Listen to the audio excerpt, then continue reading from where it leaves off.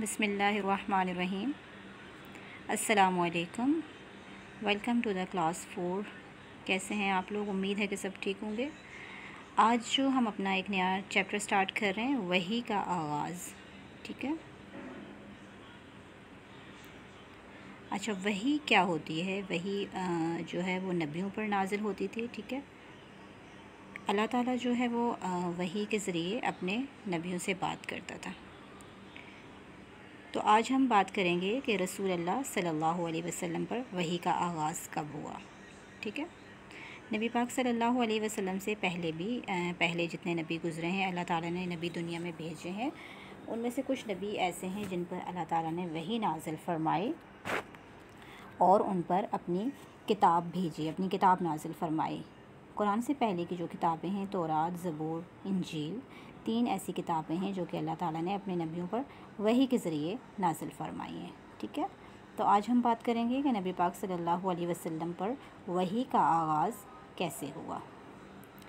नबी अकरम सल्लल्लाहु अलैहि वसल्लम की उम्र जो है वो चालीस साल के करीब पहुँची। तो आप सल्लल्लाहु अलैहि वसल्लम कई दिन तक इबादत करने के लिए मक्का के करीब जबल नूर की बुलंदी पर गार हिरा में चले जाते थे। ये एक गार था जहाँ पे नबी पाक सल्लल्लाहु अलैहि वसल्लम जाते थे और इबादत करते थे। इन्हीं दिनों में आप सल्लल्लाहु अलैहि वसल्लम को सच्चे ख्वाब आने लगे। जो कुछ आप सल्लल्लाहु अलैहि वसल्लम रात को ख्वाब में देखते, अगले दिन वही वाक़ पेश आ जाता था।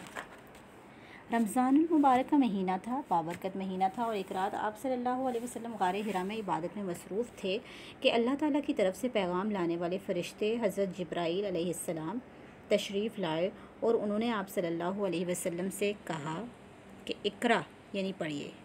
इकरा का मतलब है पढ़िए, ठीक है? आप सल्लल्लाहु अलैहि वसल्लम ने फरमाया कि मैं पढ़ना नहीं जानता। तो हज़रत जब्राईल अलैहिस्सलाम हज़रत जब्राईल अलैहिस्सलाम फ़रिश्ते हैं जो अल्लाह का पैगाम नबियों तक लेकर आते हैं। हज़रत जब्राईल अलैहिस्सलाम ने इसी तरह तीन मरतबा पढ़ने के लिए कहा और तीनों मरतबा आप सल्लल्लाहु अलैहि वसल्लम ने यही जवाब दिया कि मैं पढ़ना नहीं जानता। इसके बाद तीनों मरतबा हज़रत जब्राइल जब्राइल अलैहिस्सलाम ने आप सल्लल्लाहु अलैहि वसल्लम को सीने से लगाया और अर्ज़ किया कि अल्लाह के नाम से पढ़िए और फिर सूरह अलग की पहली पाँच आयत आप सल्लल्लाहु अलैहि वसल्लम को सुनाई। यानी सबसे पहले जो आयत नाजिल हुई हैं वो सूरह अलग की, सूरह अलग जो कि तीसवें पारे में मौजूद है। सूरह अलग की पाँच आयत जो है नाजिल हुई। हज़रत जब्राइल अलैहिस्सलाम ने नबी पाक सल्लल्लाहु अलैहि वसल्लम को सूरह अलग की पहली पाँच आयात सुनाए ये पहली वही थी जो आप सल्लल्लाहु अलैहि वसल्लम पर नाजिल हुई। इसी तरह आप सल्लल्लाहु अलैहि वसल्लम को नबूवत अता की गई और आप सल्लल्लाहु अलैहि वसल्लम को लोगों को अल्लाह की तरफ़ दावत देने की ज़िम्मेदारी सौंप दी गई। आप सल्लल्लाहु अलैहि वसल्लम, जब हज़रत जब्राइल की आमद और वही के नज़ूल के बायस एक हैबत तारी थी, यानी अल्लाह का पैगाम जब नबी तक पहुँचा तो एक कैफियत तारी थी आप सल्लल्लाहु अलैहि वसल्लम पर। आपका जिसम मुबारक कांपने लगा और आप जो है वो घर तशरीफ़ लाए। और हज़रत ख़तीजा जो कि उनकी जोजा थी, हज़रत खदीजा रज़ी अल्लाह तु से फरमाया कि मुझे चादर उड़ा दो, मैं कुछ देर जो है वो आराम करना चाहता हूँ। कुछ देर आराम के बाद जब आप सल्लल्लाहु अलैहि वसल्लम की तबीयत संभली तो आपने हज़रत खदीजा को पूरा वाक़ सुनाया। तो हज़रत खदीजा रज़ी अल्लाह तु ने आपको तसली देते हुए फ़रमाया कि आप जो है वो हमेशा सच बोलते थे, रिश्तेदारों के हकूक़ अदा करते थे, बेसहारों का सहारा बनते थे। हज़रत खदीजा रज़ी अल्लाह तु ने आपको तसली दी और उसके बाद जो है हज़रत खदीजा नबी पाक सल्लल्लाहु अलैहि वसल्लम को अपने चचा ज़ाद भाई वर्का बिन नौफल के पास ले गई। जो कि तौरात और इंजील, जो कि कुरान से पहले नाजिल हुई हैं, तौरात और इंजील के बड़े आलिम थे और बुत परस्ती छोड़ चुके थे। आप सल्लल्लाहु अलैहि वसल्लम ने जब इनको गार हिरा का वाक़ सुनाया तो उन्होंने कहा कि ये तो वही फ़रिश्ता है जो हज़रत मूसा के पास आता था और हज़रत ईसा अलैहिस्सलाम के पास आता था। हज़रत जब्राईल अलैहिस्सलाम हैं, जो कि वही का पैगाम लेकर नबियों पर आते हैं। पहले हज़रत मूसा अलैहिस्सलाम पर वही उतरती थी, हज़रत ईसा अलैहिस्सलाम पर और हज़रत दाऊद अलैहिस्सलाम पर। तीन किताबें जो कि कुरान पाक से पहले नाजिल हुई। तो वर्का बिन नौफल थे जो खतीजा रज़ी अल्लाह तु के भाई चचाजाद भाई थे, वो बुत परस्ती छोड़ चुके थे और वो इन दोनों किताबों के बड़े आलिम थे, तौरात और इंजील के। जब आपने इनको ये गार हिरा वाला वाक़ सुनाया तो उन्होंने कहा कि ये वही फ़रिश्ता है जो पहले नबियों के पास आता था। और वो कहने लगे कि एक काश में इस वक्त तक ज़िंदा रहता जब आप सल्लल्लाहु अलैहि वसल्लम की कौम आपको शहर से निकाल देगी। तो आप सल्लल्लाहु अलैहि वसल्लम ने पूछा कि क्या ये लोग मुझे शहर से निकाल देंगे?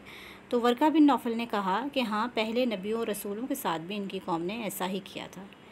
क्योंकि जब आ, कोई भी नबी अल्लाह ताला का पैगाम लोगों के पास लेकर आता था तो वो उस पैगाम को मानते नहीं थे और नबियों के साथ जो है वो अच्छा सलूक नहीं करते थे। उनको तरह तरह से तकलीफ़ें देते थे। इसी तरह से जब नबी पाक सल्लल्लाहु अलैहि वसल्लम ने, की नबूवत का आगाज़ हुआ और आप सल्लल्लाहु अलैहि वसल्लम ने इस्लाम की दावत देना शुरू की तो कुफ़ार मक्का जो हैं वो आपके ख़िलाफ़ हो गए थे और उसके बाद आपको जो है वो मदीना हिजरत की, मदीना हिजरत करनी पड़ी। आप वसल्लम ने मदीना हिजरत की थी। तो इसी हवाले से वो बात कर रहे थे कि आपकी कौम आपको शहर से निकाल देगी और उन्होंने ये भी साथ में कहा कि अगर मैं इस वक्त तक ज़िंदा रहा तो आपकी भरपूर मदद करूँगा। लेकिन ऐसा ना हो सका। और कुछ दिन के बाद ही जो है वर्का बिन नौफल का इंतकाल हो गया। तो इस तरह से जो है वो वही की शुरुआत हो गई, वही का आगाज़ हुआ और इसके बाद एक आयत और उसके बाद मज़ीद आयात जो हैं, इसी तरह से हज़रत जब्राईल सलाम आते थे और नबी पाक सल्लल्लाहु अलैहि वसल्लम को सुनाते थे और आप वसल्लम वो याद कर लेते थे। इसी तरह से थोड़ा थोड़ा करके कुरान पाक जो नाजिल होता रहा और फिर तकरीबन रमज़ान के महीने में ये शुरू हुआ। और तेईस साल के अरसे में ये मुकम्मल हो गया। ठीक है क्लास ये आज का हमारा लेक्चर था। आप लोग इस टॉपिक की रीडिंग भी करें और साथ में इसको सुने भी और जो भी आपको चीज़ समझ में नहीं आती है उसको हम इंशाल्लाह फिर क्लास में डिस्कस करेंगे। ठीक है? ओके अल्लाह हाफिज़ जजाकल्ला अस्सलाम वालेकुम